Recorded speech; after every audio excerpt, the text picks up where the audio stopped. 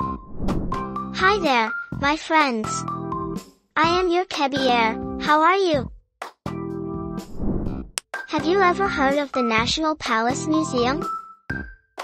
If not, don't worry. It's the biggest museum in Taiwan, and there are lots of beautiful artworks in this museum.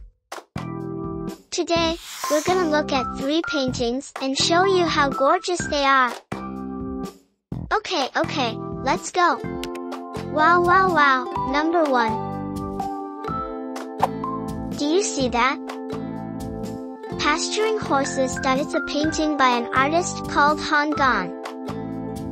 This work is a painting of two horses, one white and one black, being led by a groom.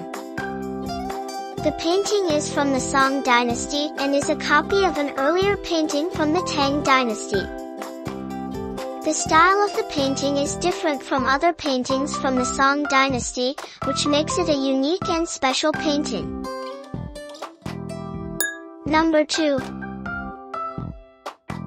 A Palace Concert. We can see it's also a painting by Tang Dynasty.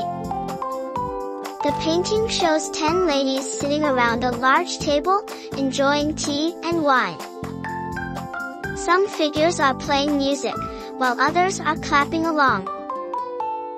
The original title of the painting is Picture of a Palace Concert by a Yuan artist, but it is believed to be from the Tang dynasty based on the hairstyles and clothing of the figures.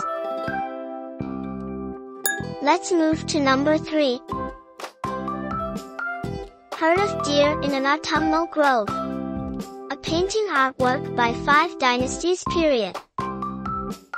This painting shows a lot of deer running and playing around in a big forest. The forest is full of different kinds of trees.